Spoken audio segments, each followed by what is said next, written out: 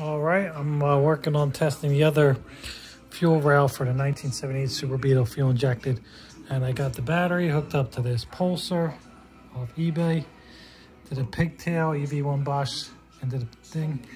And I got my little spray gallon with water and soap hooked up in a tube and a pressure regulator. And I set that for two pulses. And you'll see water shoot right out of that little injector. Boom.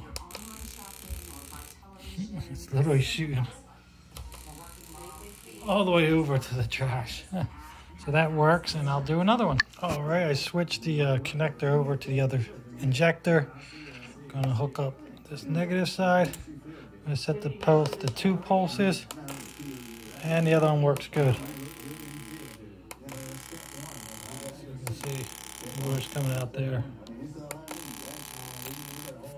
Pretty nice.